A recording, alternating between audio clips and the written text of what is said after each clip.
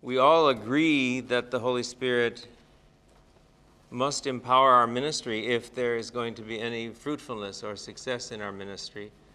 But how can it be that we experience the power of the Holy Spirit?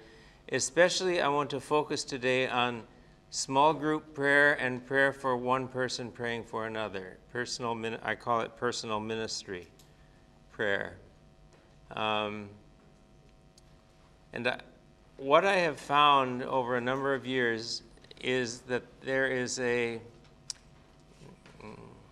a kind of model or a pattern or a um, way of praying for people that involves uh, prayer and waiting for the Holy Spirit to guide and to work in people's lives. And so that's the whole of what I'm going to be talking about this morning.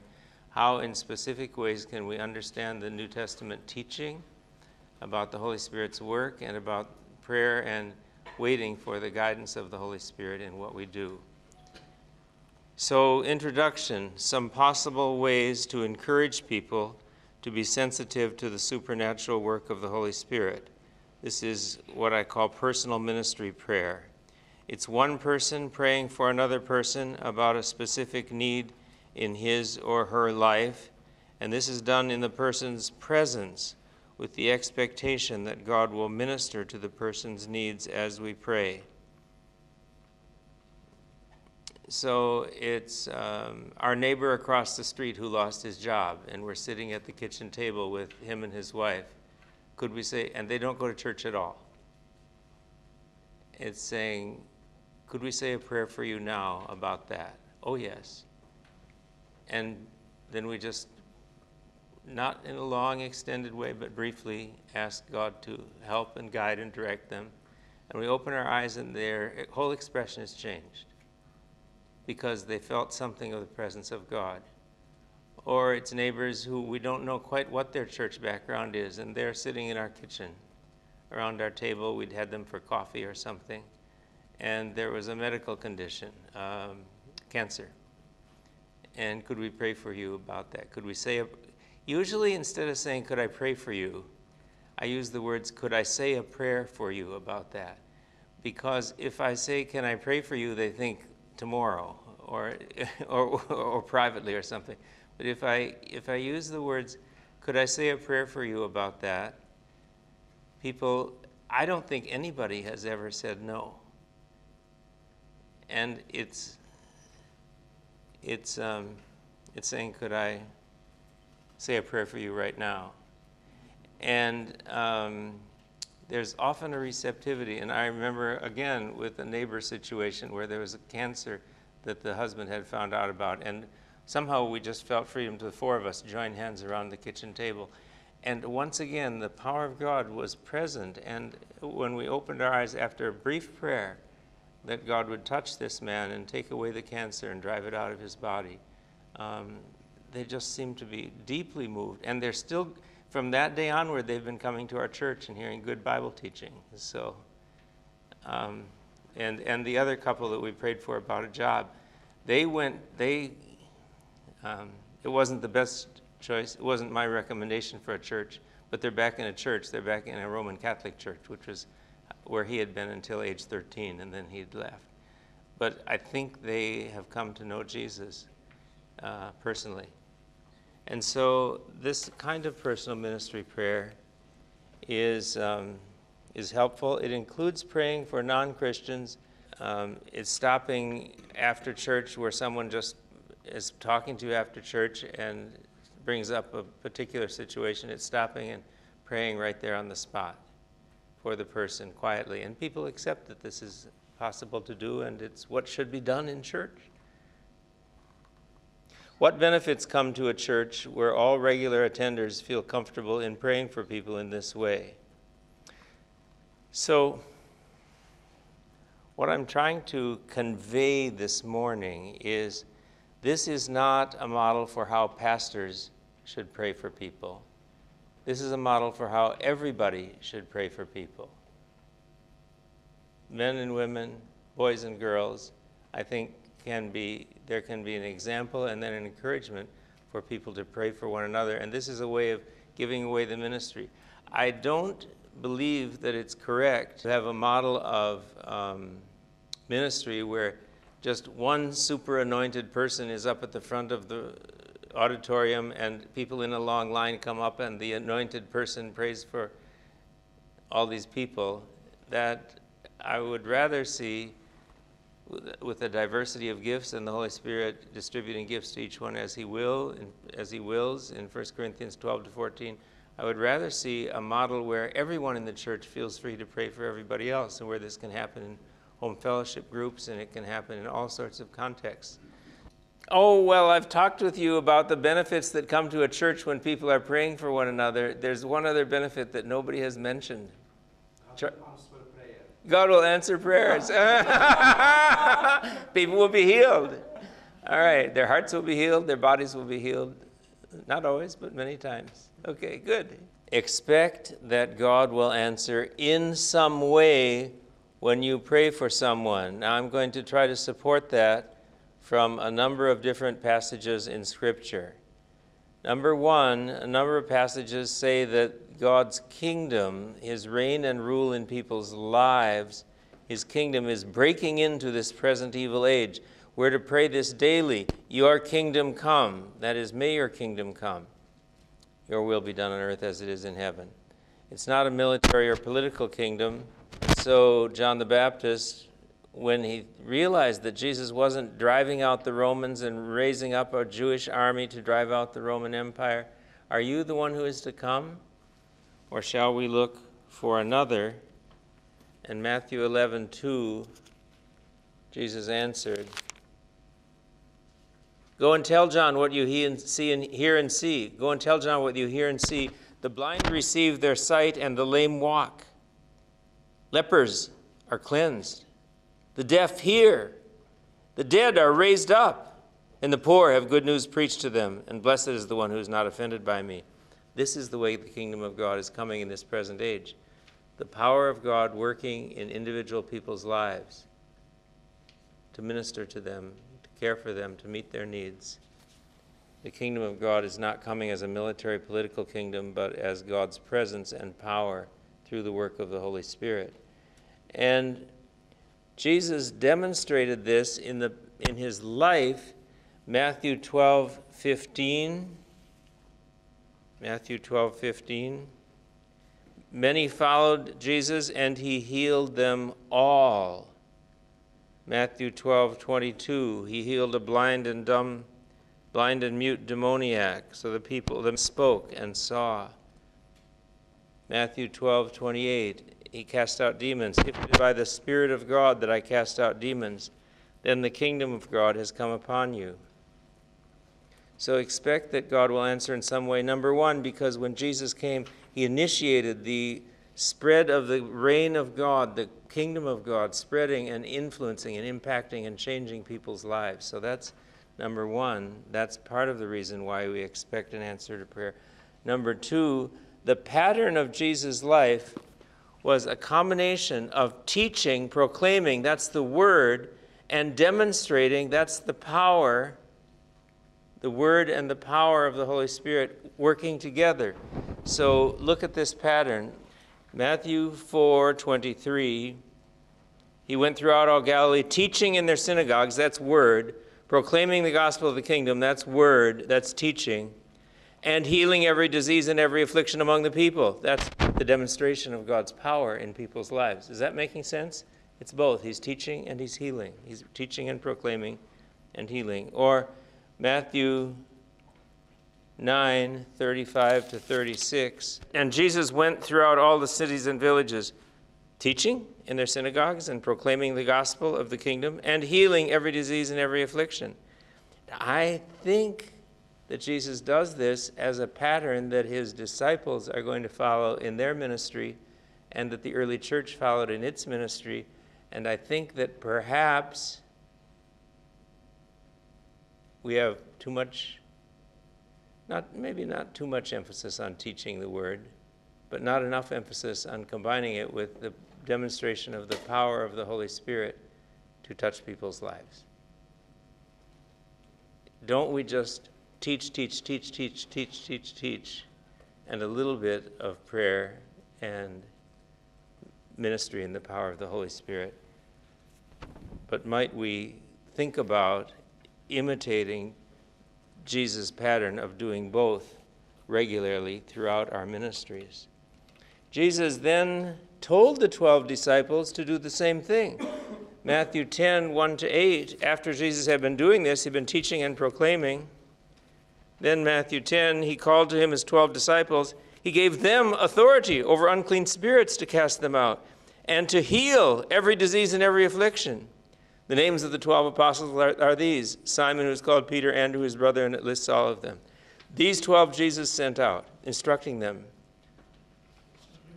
Proclaim as you go, this is verse 7, saying, The kingdom of heaven is at hand. The kingdom of heaven is at hand. Life is going to look different from now on. Things are going to change.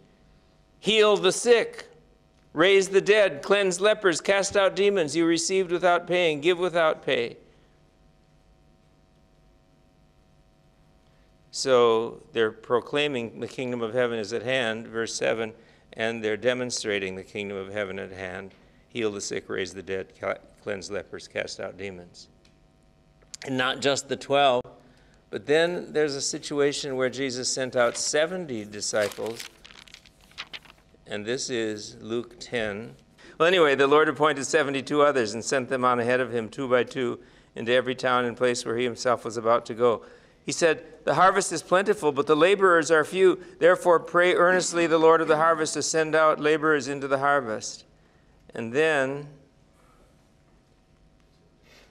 verse 9 heal the sick and say to them, there's he, demonstration is healing the sick. Say to them, this is proclamation of the word, the kingdom of God has come near to you. So he told them to do the same. Now, here's the controversial verse Jesus did this, word and power, word and demonstration. The 12 did this word and demonstration. The 72 did this word and demonstration. Does it apply to us today? That's the question. Now, think about this verse Matthew 28. Matthew 28.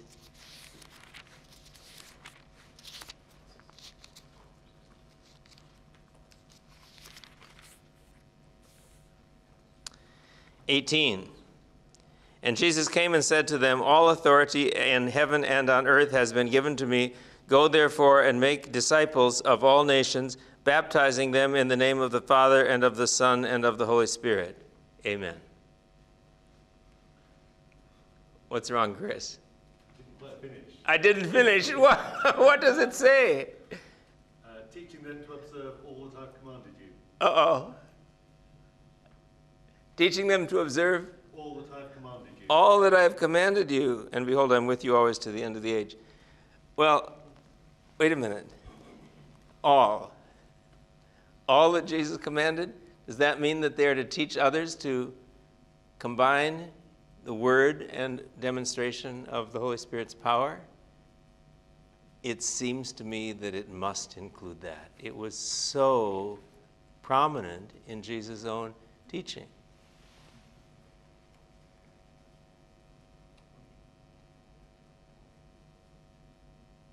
Now think about our own ministries. Are we including both? Proclamation of the word and the demonstration of the Holy Spirit's power at work, the kingdom of God advancing. I think that all that I've commanded you includes that very prominent commission that Jesus gave when he sent these people out early on. Now I'm going to go over to Paul and at the end of Romans, well, at Romans 15, verse 18, Paul says, For I will not venture to speak of anything except what Christ has accomplished through me to bring the Gentiles to obedience by word and deed there's word that's teaching and deed that must be action. What, de- what deeds? Well, by the power of the Holy, oh no, by the power of signs and wonders. That's the biblical vocabulary for miracles. By the power of signs and wonders, by the power of the Spirit of God. So he's got both word and deed, and deed includes the power of signs and wonders or miracles by the work of the Holy Spirit. So that from Jerusalem and all the way around to Illyricum, Illyricum is modern day Albania and parts of what was formerly Yugoslavia. Is it is Illyricum the Roman province? Do, do any of you live there? Illyria? You don't? Okay. In Albania, when I taught in Albania, in the capital city of Tirana, they are so proud that they have the city that St. Paul went through on his journeys because the main Roman road, um, the main Roman road went right through the center of where Albania is. And um, I had, this is a digression. I'm not going to get into it. Well, no, I'll tell you. um, a few years ago, uh, uh, a friend of mine and I were teaching on economic development in poor nations and how the Bible teaches principles that can help. And the Lord, we went there thinking we were going to speak to Christians in Albania about economic development, and they had arranged a, minis- a meeting for us with the Prime Minister of Albania, Dr. Sali Berisha who was prime minister at the time, and he was Muslim. But we met with him, and I sat right across the table from him for about 30 minutes. And Mr. Prime Minister, could I show you, could I show you some place in the Bible that speaks about Albania? Yes? Stern, but he's fluent in English. He's a cardiologist. And uh, so I showed him Romans 1519, from Jerusalem and all the way around to Illyricum, I have fulfilled the ministry of the gospel of Christ. And I said, look at the note at the bottom in this study Bible that I brought him, the ESV study Bible. It says, Illyricum is the Roman province that is now modern day Albania and parts of former Yugoslavia. And he said, This is true. and I said, I know I wrote the note. Wait, who wrote it? Oh, I was the editor of the study Bible. so that then that that seemed to he he was happy to see that that we recognized that and uh, then Mr. Prime Minister could I show you another place in the Bible where it talks about you You? Yes, you, and yes, and so I turned back to Roman, just a page back to Romans 13, 4. The civil authority is God's servant for your good. And I said, Mr. Prime Minister, I think this says that God has made you his servant to do good for the people of Albania. And it seemed like God's word touched his heart at that moment. He seemed really impressed by that. He was appreciative. So, okay, I digressed. Uh, but Paul says, Paul says that he preached from, he's summarizing his whole ministry up to this point. From Jerusalem around as far as Illyricum, he's preached the gospel of Christ. And it was word and deed by the power of the Holy Spirit, by signs and wonders. So that seems to be the pattern, seems to be the pattern of the kingdom of God coming in word and power. And that's why I say, point B, expect God to answer in some way when you pray for someone. Now, Margaret and I have an experience that we remember. We were, when we were at Trinity. A student couple said, Could we come to your home? Would you pray for us? Because of this couple, the wife in the couple had lower back problems and was giving her considerable pain for many years. They came to our home. We talked for a little bit. And, all right, could we say a prayer for you? Yes, fine. So, with this couple, we, I asked permission and I asked if I could just put my hand at the top of her back. And yes, okay, so I put my hand on her back and asked, Lord Jesus, will you please come and heal this woman's back? And we waited quietly for a minute or two. But the key is we waited. We waited just quietly. And then Margaret, my wife, who was sitting on the sofa, said, I sense a real sadness here. And immediately she began, the wife began to weep. And it turned out that 10 years ago, they had a child die in infancy. And there was still great grief and sorrow over that. For the next 40 minutes, she began to talk about it, and we began to pray for God to heal her heart. We'd forgotten about praying for the back. Well, not forgotten, but that wasn't the focus. And as she was weeping and pouring out her heart before the Lord, God was touching her and healing her in her heart. And then at the end, it seemed to be done, and we prayed again, Lord, will you please heal her back? And then we didn't know what would happen. Two days later, I saw them. Charles, they were, you know how in, in the chapel building, you go and go to the right, and you go down the steps to the student cafeteria or restaurant down White Horse Inn, yeah. So I saw them right on the stairway there, and I said, "Oh, how's Sally's back?" Or I can't remember her name. And they said, "No change in her back." But if the only reason we came here to Trinity to study was for that prayer time together, it was worth it. So I say, expect that God will heal in some way or answer in some way. We don't know if it will be an emotional, spiritual answer to minister to a need of the person's heart, or if it will be physical healing, or if it will be both. And we just ask and wait for the Lord to do what He wants. Is that, is that making sense? But, but it's not saying we don't think anything is going to happen. Probably nothing is going to happen. Only one time in a thousand does God answer prayer. Like that. We, it's, it's, it's not that, it's an expectation that often God will give some kind of answer even as we pray. What about laying on of hands? As I looked through the New Testament, it seems that Jesus and his disciples often, not always, not always, but often placed their hands on people they ministered to. So Jesus in Luke 4:40, when the sun was setting, all those who had any who were sick with various diseases brought them to him, and he laid his hands on every one of them and healed them. Now, this is interesting. It was late, people were tired. Jesus had the power. He could have said to the crowd, Be healed, go home. But he laid his hands on every one of them individually. Isn't that interesting? Isn't that interesting? Luke 5:13 Jesus stretched out his hand with this leper and touched him, saying, I will be clean. And immediately the leprosy left him. Luke 13 13. And he laid his hands on her, and immediately she was made straight. This was a woman who had a disabling spirit and was bent over and could not straighten herself. And Jesus laid his hands on her, and immediately she was made straight, and she glorified God. In Matthew 19 13 to 15, let the children come to me and do not for- forbid them, for to such belongs the kingdom of God. And he laid his hands on them and blessed them.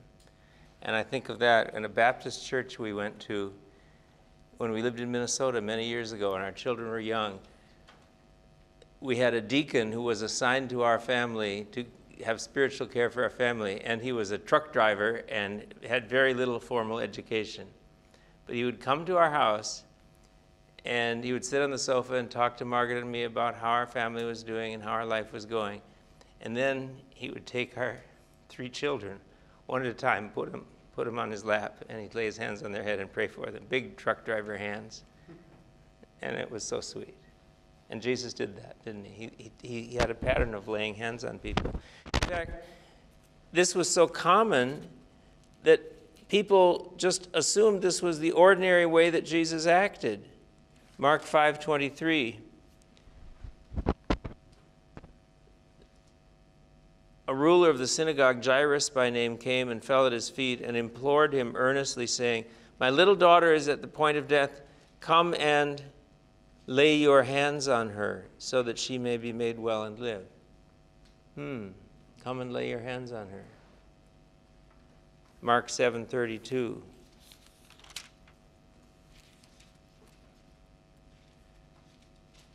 And they brought to him a man who was deaf and had a speech impediment, and they begged him to lay his hand on her, or on him.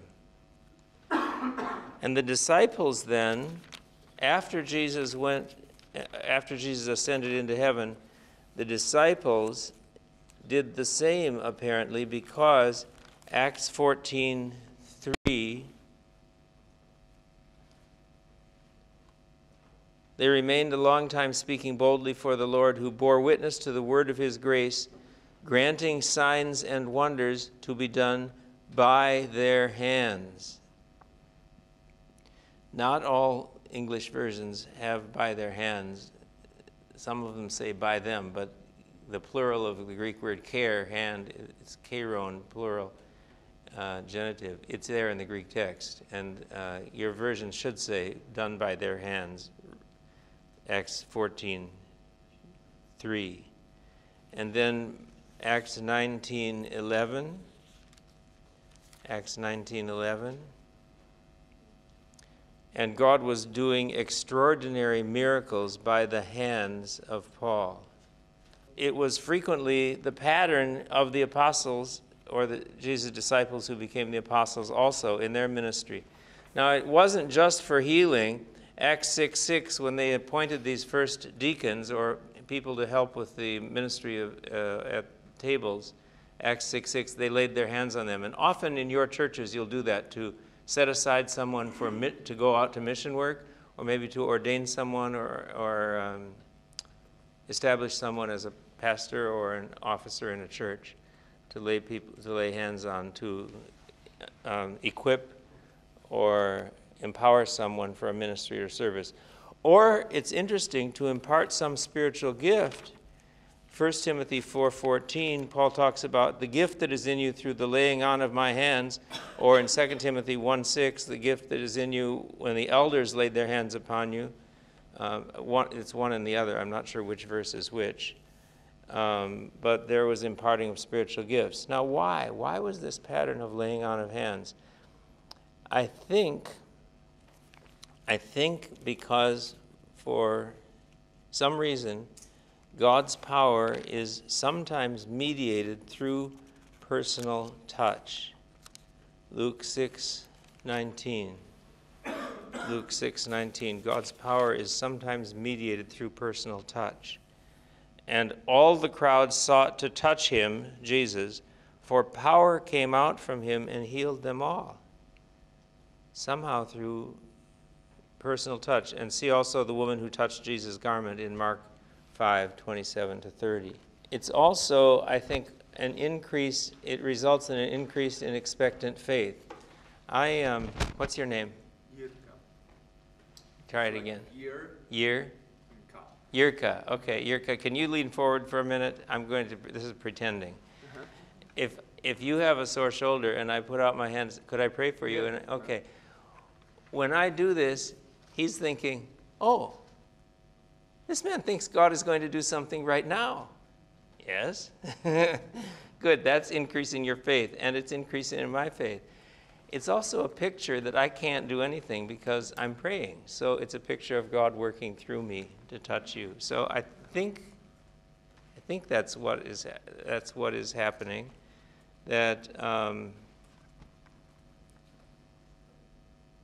God's power is mediated, and it gives a picture of God ministering to us through others.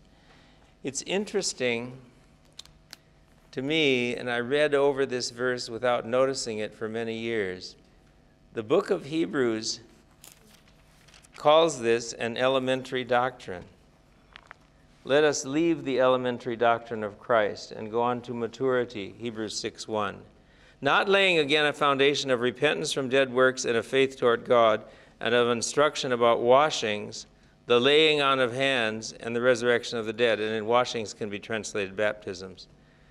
Laying on of hands, the resurrection of the dead, and eternal judgment. These are elementary foundational doctrines. So, do you have a class for new members at your church? What, Gail, what do we have at Scottsdale Bible? Is there? We have a membership where they start, they start to read It's a the mission of the church. right. Okay. Is there a special name for it? No, just membership. Okay, just a membership class. Thought it was called Christianity, but some classes, Christianity 101, or Yeah, that, I think that's that's something else. Okay. Okay, for, so for a new believer, the book of Hebrews says there are foundational doctrines. We don't, these are fo- elementary doctrines. Number one, repentance from dead works and faith toward God. That's how you trust in Christ to start with. That's week one of your membership or your new Christian, new believers class or your seekers class. Week two, you talk about baptism and laying on of hands. Isn't that interesting? It's right at the beginning as a foundational doctrine. So it's common. It's a common pattern. A caution this is not mechanical or magic. I don't want to say that this is a, um an automatic way that God will answer prayer. Galatians 3:5 Does he who supplies the Spirit to you and work miracles among you do so by works of the law or by hearing with faith? Well, of course, the answer is by hearing with faith. And so it's really our heart trust in God that's important more than uh, any action. So there are some cautions. Um, a church where I was a number of years ago that had an active prayer ministry at the end of the service where people could come forward. But in this church, if people were on the ministry team at the front of the church, there were some instructions that people gave. First, you never touch someone without permission, because sometimes people, well, it's counterproductive. They'll be uneasy and uncomfortable. And so you honestly ask, could I put my hand on your shoulder or something? And then number two, a man can minister to a man, and a woman can minister to a woman, or a man and a woman together can minister to anybody. But otherwise, it gets uh, too much danger of crossing appropriate boundaries if men are praying for women by themselves or women are praying for men by themselves. That's just wise. And then we just put a hand on a person where it's a safe place. Touch a hand or shoulder or back or head where people will not feel uneasy, okay? So that's just um, caution. And there are times when I've gone to see someone in a hospital or just in a situation it doesn't seem appropriate to ask if I could put a hand on someone, and so I don't. I don't think it's a requirement. It's just a sensitivity, and this seems to be a common pattern. Interactive prayer. Pray specifically and wait for further direction from God. The Holy Spirit often guides us in our prayers. Note verses on being led by the Spirit. Romans 8 14. All who are led by the Spirit of God are sons of God. Galatians 5:16 Walk by the Spirit and do not gratify the desires of the flesh. Galatians 5:18 If you are led by the Spirit, you are not under the law. Galatians 5:25 If we live by the Spirit, let us also walk by the Spirit. Acts 5 Acts 15:28 It seemed good to the Holy Spirit and to us. Now what will the Holy Spirit do? Sometimes he'll bring scripture to mind and again and again in a situation you start praying for someone and a Bible verse comes to mind and you say it and the person evidently is touched by that verse, which was very appropriate to the situation. Or the Holy Spirit can give more insight into the situation, like where we were praying for the woman with the pain in her lower back, and Margaret said, I sense sadness here. That was more insight, I think, that the Holy Spirit guided Margaret to. They weren't talking, talking to us about sadness, but there was a sadness. Um,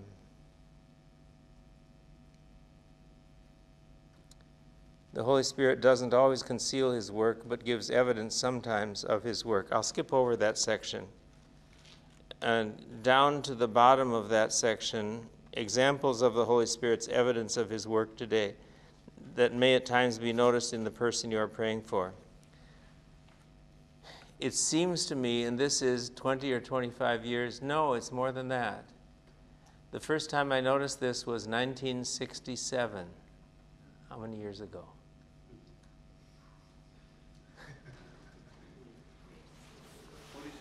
47, 40, 48, 48 years ago, where in, uh, in college, I was praying with a group of students at an intervarsity group, intervarsity campus crusade kind of combination group.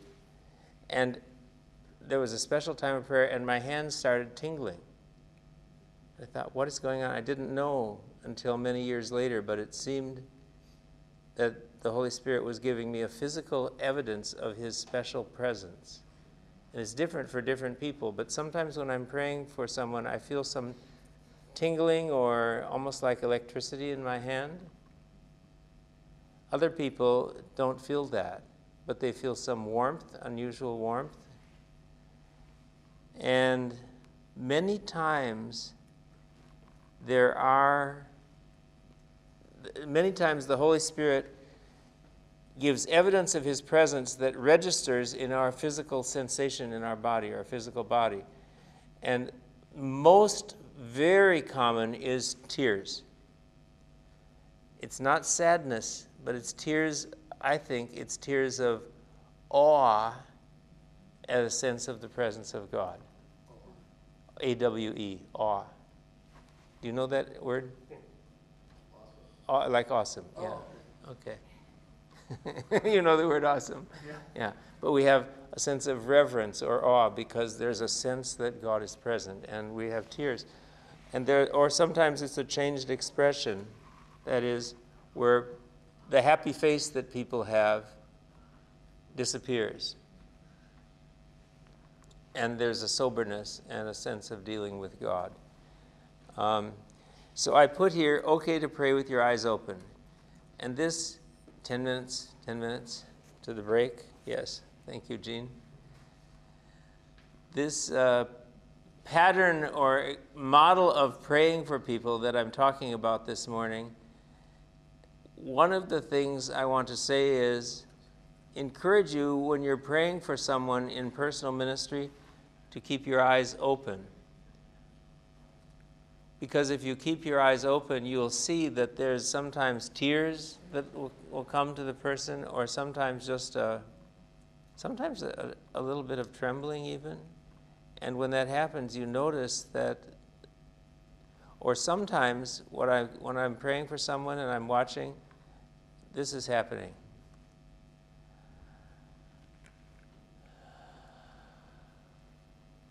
Just a very slow, deep breathing, which represents peacefulness, a sense of peace. So that's different manifestations where it seems to me, sometimes anyway, the Holy Spirit tells us, indicates to us that He is present and working. You can sometimes sense things in your spirit. I was surprised one time when I looked at the New Testament how often it talked about sensing things in your spirit. And we don't usually talk that way, at least in our American culture, about your spirit sensing things. But look at this Luke 147. Mary said, My spirit rejoices in God my Savior. See, you know what your eyes are seeing right now. You're seeing lights in the ceiling, you're seeing me, and here's the microphone on, you're seeing the pad there that I wrote on. You know what you see. You know what you're hearing. You're hearing me talk.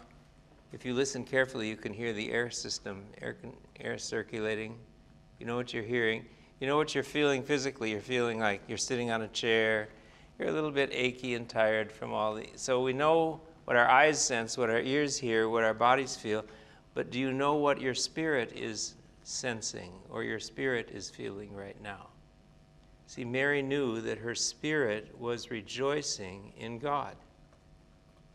There was kind of inner sensitivity. Jesus was troubled in spirit, John 13, 21. Jesus perceived something in his spirit, Mark 2, 8. Jesus perceived that power had gone forth from him. I think that was in the spiritual realm. Another way of saying this, love God with all your soul. Another way of saying it, Luke 24 32, did not our hearts burn within us when, when, he was op- when Jesus was opening the scripture? Acts 17 16 is a little different. Paul came to Athens and he saw all these idols, and his spirit was provoked within him. Um, or Romans 8 16, the Holy Spirit bears witness with our spirit. So What does it feel like to sense things in your spirit? It's like trying to explain to someone what watermelon tastes like. It's kind of like an apple, but it's not quite as hard. And it's a little bit like a, what is watermelon like? but if you give, what's your name again? Yirka. Yirka, if I give you a piece of watermelon, you say, Oh, I've eaten that before. Now I know what it is. Uh-huh. Then you can experience it. So I think a lot of times we do sense things in our spirit, but we don't have words to use to describe it. And if we're in a home fellowship group or we're praying for someone and you have a sense of the, in your spirit, there's a sense of God's presence manifesting itself very clearly it's okay to say, I sense God's presence in this worship time or in that sermon or in that prayer time because we're teaching each other to know what that is when our spirit is sensing something. I think that the Bible talks about us as not only having a physical body, but as having a spirit.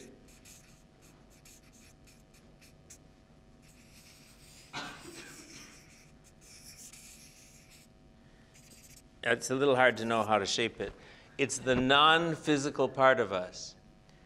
Modern science, modern psychology does not believe in non physical things. So, in modern psychology, we'll call everything in our spirit, we'll call it emotions. That's the only word they have. But many times, it's a spiritual sensitivity. but they would call it emotion. And but I'm saying it's somewhat different. It's not merely like an animal emotion.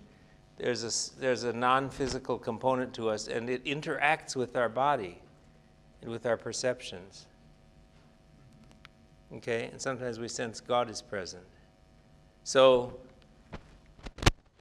it's very broadly you call it emotions, I guess, but it's it's something somewhat different. It's our human spirit. And this is different from the Holy Spirit, who also ministers in us. So, uh, someone with a prophetic gift and help in this regard. Number four, not necessary but helpful.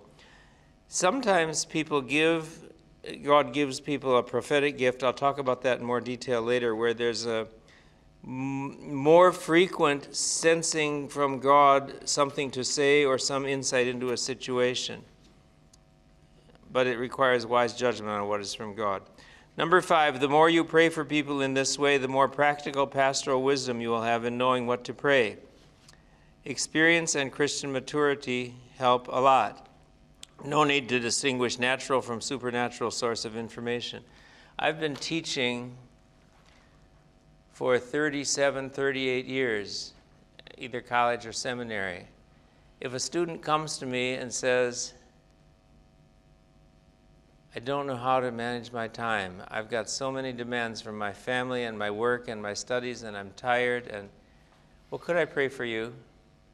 And I start to pray, and the student will say, "Oh, you prayed exactly what was in my heart. What I need." Did the Holy Spirit show me that, or did it just because I prayed for 157 students who had the same problem before? And it's, I don't know. I don't know if it's natural knowledge or. Su- Someone asked me to pray for a, chi- a child raising situation. I've raised children. I have natural knowledge of that, but I also may have some sensitivity from God. Sometimes it's all mixed up. We don't have to distinguish and know the difference. Proper motives for healing. It's important to have the right motives compassion for the sick and a desire for God's glory.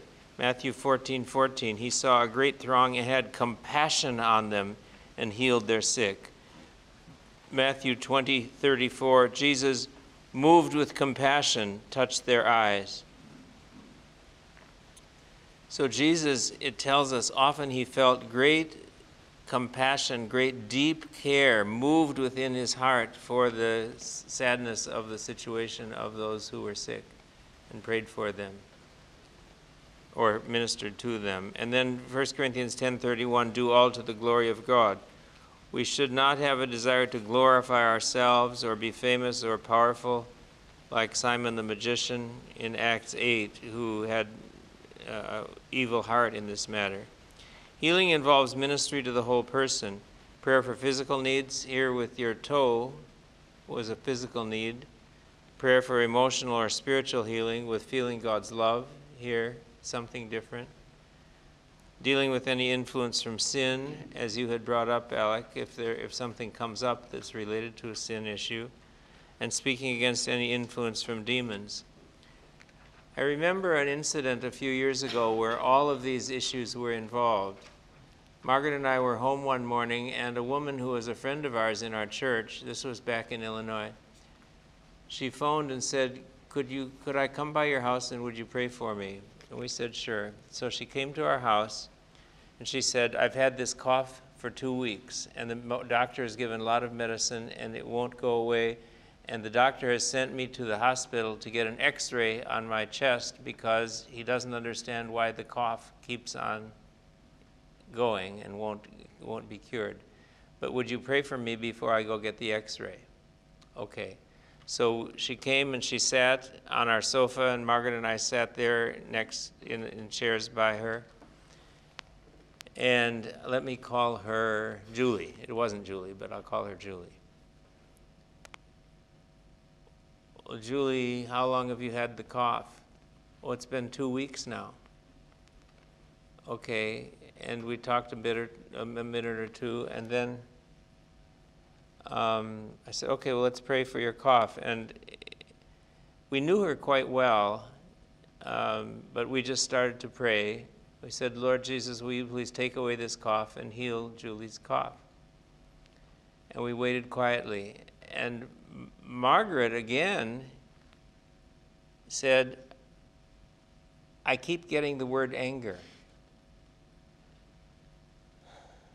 And when Margaret said that, Julie said, she went like this That's it. And she began to tell the story how 10 years ago, 11 years ago, when her son was born, her parents did not like her husband. They did not approve of the marriage. And when her son was going to be born, her parents, her mother would not give a shower for her. Do you have this custom, a baby shower? It's where friends gather and give presents, give gifts to the woman who's going to have a baby. We call it a baby shower.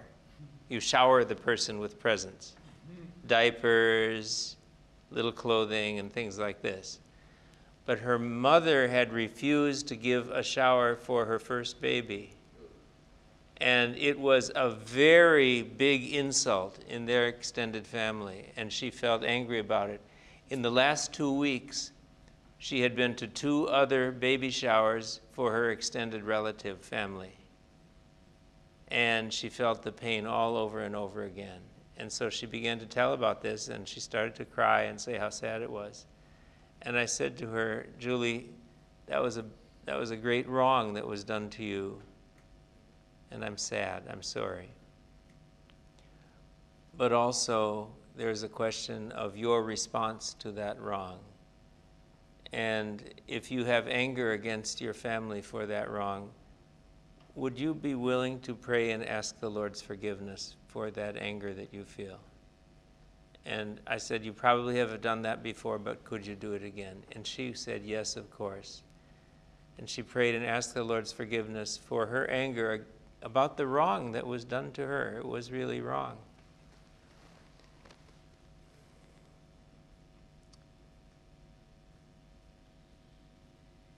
And then I sensed there was a demonic presence attacking her. And, and so, with her permission, I said, You evil spirit causing this cough in Julie, be gone in the name of Jesus. And as soon as I said that, she said, I can breathe. I can breathe. And she went to the hospital and got an x ray, and there was nothing wrong, and the cough was gone.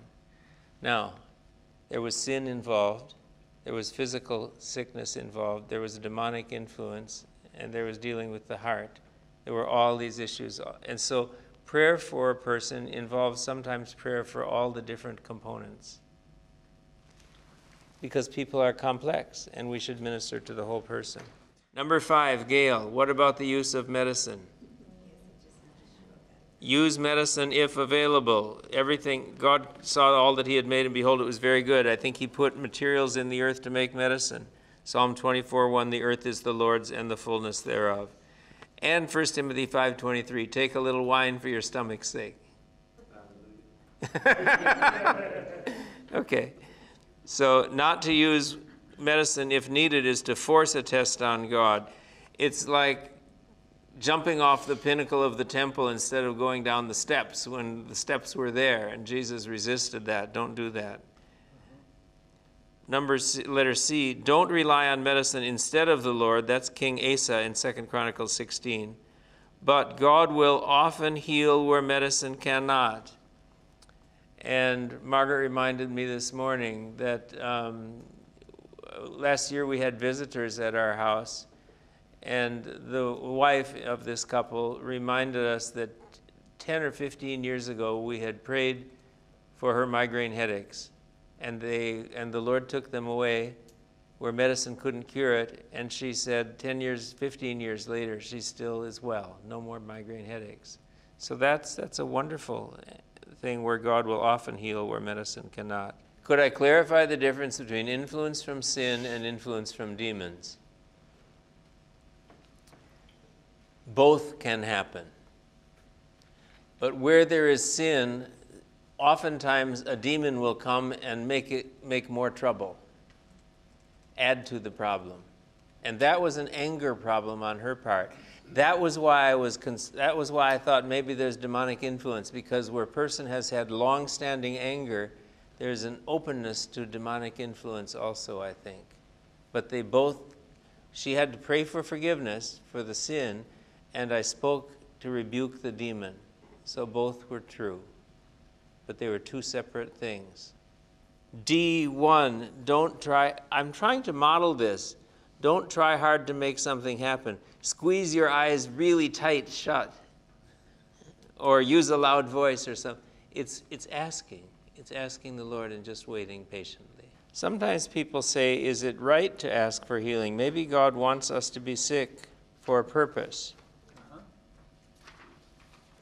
But Jesus told us to pray deliver us from evil matthew 6.13 and 3 john 3 john 2 i pray that you may be in health and james 4 2 you do not receive because you do not ask i remember one time going with a group of yes these were these were actually professors at trinity going to pray for a professor for a physical illness and there were four or five of us, and we were friends, and we went to the person's home. And one person after another prayed for the doctors. And nobody was praying for healing. And finally, I thought, James 4 2, you do not receive because you do not ask. So I prayed, Lord, will you please heal this situation? But that's, we get, become afraid to ask for God to heal. We should ask for God to heal. Jesus didn't tell anyone to stay sick for a while longer it doesn't say he told he said people go away come back in two weeks and i'll heal you after you're more sanctified uh-huh. no and jesus is the revelation of god's character and someone if someone says to me i'm not sure if god wants to heal me or not and i'll say are you taking medicine yes well then you apparently think it is god's will for you to be healed because you're taking medicine. Okay. In general, our first assumption should be that God would be pleased to heal the person we are praying for. This is generally His revealed will, though not always His secret will. Somehow, but sometimes God will show us that we should no longer pray for physical healing. That was Paul's thorn in the flesh. What if God does not heal? Number eight. Even in the presence of the apostles, not all were healed. Paul had a thorn in the flesh, and the Lord didn't take it away. I don't know what it was. Uh, Philippians 2:27. Epaphroditus was sick near to death, but then God had mercy on him. And Timothy was to take 1 Timothy 5:23, Timothy, not Titus, Timothy was to take a little wine for his stomach's sake. 2 Timothy 4:20, I left Trophimus at Miletus ill. He was with the apostle Paul, but he left him because he was he was ill. So God doesn't always heal everyone. And there are verses on suffering in general. We to give thanks in all circumstances and trust God to bring good out of the illness. So I'm not saying that God always will heal. He won't always heal, and we don't know. It's a mystery in this life. That's what you mean by the secret will. Uh, Yes, what, what God is pleased to do, we don't know. And um,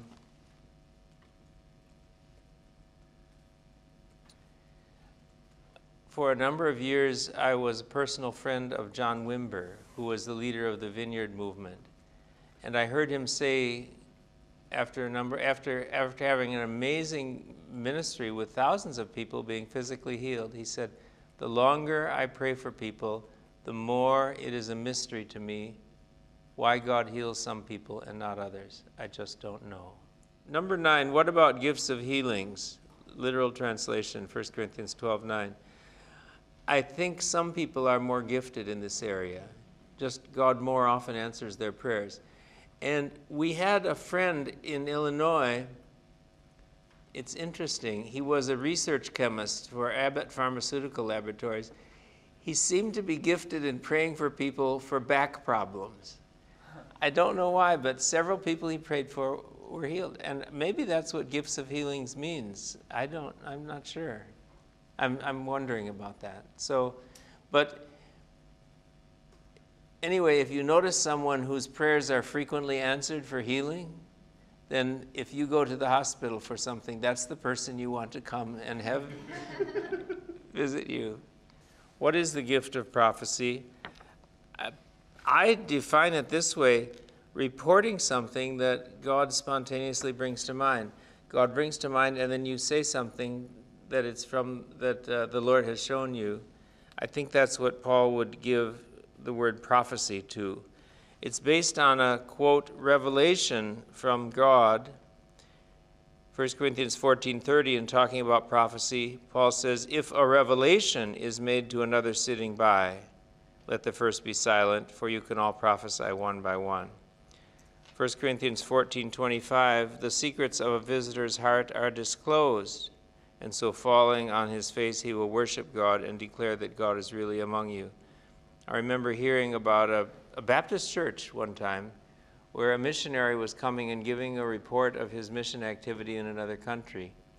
And he stopped and he said, You know, I have this sense that someone here has just walked out on his wife and family. And if that is anybody here, you need to know that God wants you to go back and be a good husband and take care of your family like he made, like he called you to do. Well, he didn't know it, but in the dark balcony of the church, a man had never been in that church before. He had walked out on his wife and family. He was walking through the evening and he saw this church building. He came in and he walked up to the balcony of the church and was sitting quietly. And after the, after the evening event, he came forward and said, That's me. How did you know? So that's God bringing something to mind. And I think Paul would call that a, a gift of prophecy. Agabus bound his hands with, Paul, with, the, with the belt and said, So shall the Jews at Jerusalem bind the hands of the man who owns this belt. Any Christian can receive these things from time to time where God brings something to your mind and you know it's from Him. Acts 2 17 to 18. Acts 2 17 to 18. In the last days it shall be, God declares, that I will pour out my spirit on all flesh, and your sons and your daughters shall prophesy. That's sons and daughters. And your young men shall see visions, and your old men shall, shall dream dreams. Even on my male servants and my female servants, in those days I will pour out my spirit, and they shall prophesy. The way the Bible sometimes talks about whole groups is to say, men and women, that means everybody. Young and old, that means everybody. Men servants and maid servants, that means everybody. You take two examples to show that you're talking about everyone. And that's what's happening here. It's a widespread gift that God gives to many people in this age. So any person can receive these. Paul says in 1 Corinthians 14:1, earnestly desire spiritual gifts, especially that you may prophesy. So we should desire this. Now, whenever I teach this in a room, there are people here who are recognizing that from time to time God gives something God brings something to your mind. You may not be calling it prophecy, you may be calling it God showing you something, God leading you, God revealing something to you. Remember number 4, prophecy today can never equal the Bible in authority. Acts 21:4 is interesting. I think it is a prophecy, but Paul disobeyed it because it wasn't correct. Acts 21:4. They landed at Tyre, and having sought out the disciples, it says, We stayed there for seven days, and through the Spirit, they were telling Paul not to go on to Jerusalem. Through the Spirit. It doesn't use the word prophecy, but it looks like it's through the Holy Spirit. I think what happened was there were people there with prophetic gifting, and they were praying or worshiping the Lord, and they got this sense that Paul was going to be put in prison in Jerusalem. Or maybe they even had a, a mental picture or uh, some kind of mental image that came to mind where they see Paul and there's an angry mob and he's being attacked, and they draw their own conclusion don't go to Jerusalem. But it's a combination of the Holy Spirit revealing something to them, and then they add to it their own interpretation. And so it's through the Spirit they were telling, they were doing it over and over again. They were telling Paul not to go to Jerusalem. But what did Paul do? He went to Jerusalem.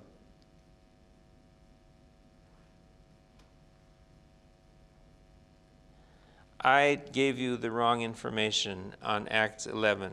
That was Agabus predicting a famine. It wasn't his belt, because that's Act uh-huh. 20, Acts 21. So, but Acts 21 15, after these days we got ready and went up to Jerusalem. So apparently, Paul knew that some people could have the Spirit reveal things, but then they would add to it and there'd be a mistake. 1 Thessalonians 5 20 to 21 says, Do not despise prophesy, prophecies, but test everything, hold fast to what is good. So that means weigh it and evaluate it, and some of it is going to be wrong. Paul says, test everything, hold fast to what is good. So apparently he's realizing that there are some prophecies that aren't right. No stoning for false prophecy. In the old in the New Testament, the apostles write the words of the Bible, but in the Old Testament they're called prophets.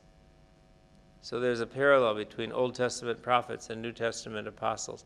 But in the New Testament, Acts 2 says prophecy is poured out to everybody.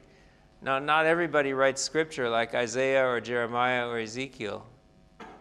But if everybody has this gift, it seems to have a diminished authority, a smaller authority. Okay? Mm-hmm. Because it's tested, it makes mistakes. 1 Corinthians 14 29. Let two or three prophets speak, and let the others weigh what is said. I think the word means to sift and evaluate. Yes, that's from the Lord. No, that's not from the Lord. In fact, there are no words of God from the Corinthian church. Did the word of God come forth from you? Acts 14:36. But the implied answer is no. So, here's what happened. In the church when we lived in Illinois, we had a building program. And to start the building program, we had to purchase a piece of land. And the pastor called a special prayer meeting to pray for the Lord's direction because this land was available. We were ready to buy it, but we hadn't made the final commitment. And so 30 or 35 people gathered in the church on a Wednesday night. And we were praying for the Lord's guidance, and it seemed like this was what God wanted us to do. But then one man took a piece of paper out of his pocket, and he said, This is what the Lord showed to me. You evil people, you're proud to take on this building project. Your hearts are not right before me. This is selfish and seeking your own glory. Repent of this evil plan that you're doing. I mean, it was all judgment, judgment, judgment, condemnation. He said, This is what the Lord showed me. And I was sitting back over here next to my wife, Margaret, and I turned to Margaret and I said, Do you think that was from the Lord? And Margaret said, and I didn't either. So I spoke out loud. I said, Thank you, Tom, but I don't think that was from the Lord. Oh, when the meeting was over, he came right up to me. He was angry. I know the Lord showed me that. That was from the Lord.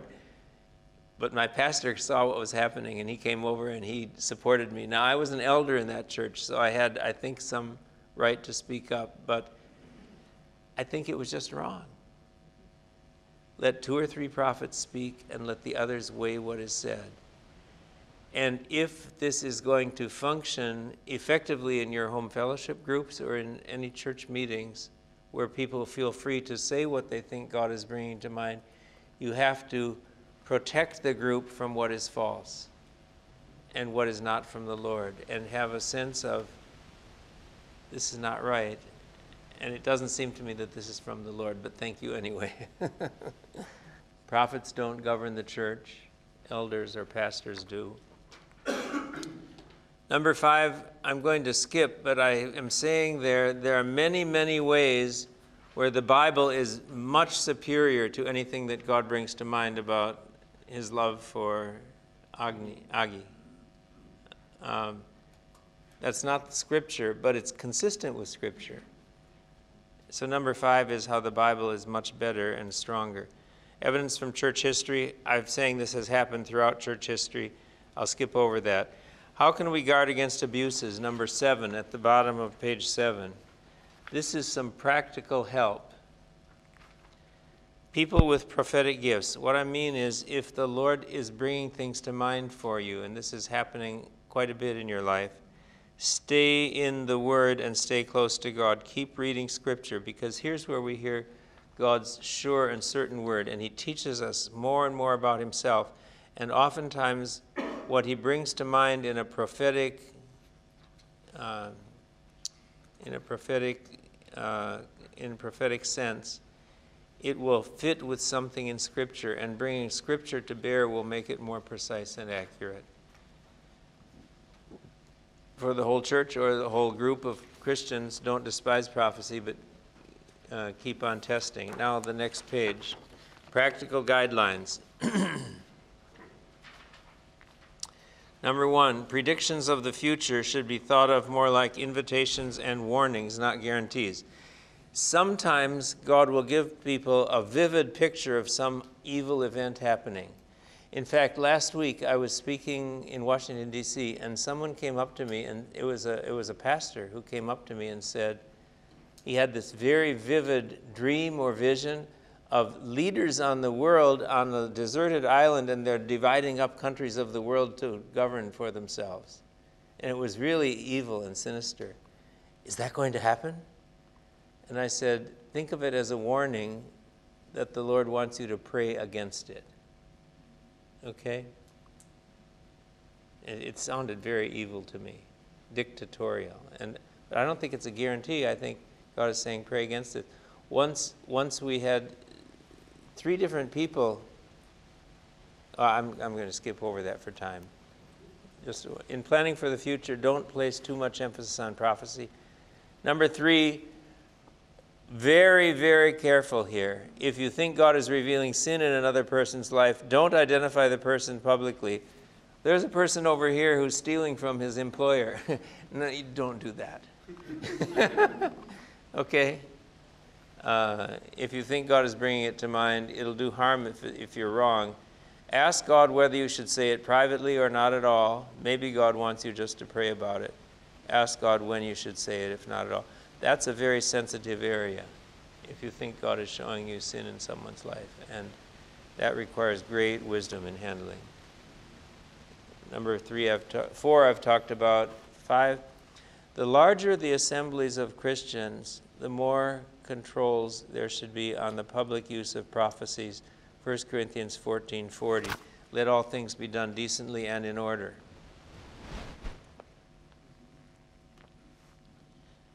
Um, that's Paul says, "Do not despise, earnestly desire prophecy, and do not despise speaking in tongues, but let all things be done decently and in order." Um, in a group of four people praying, you can just say something.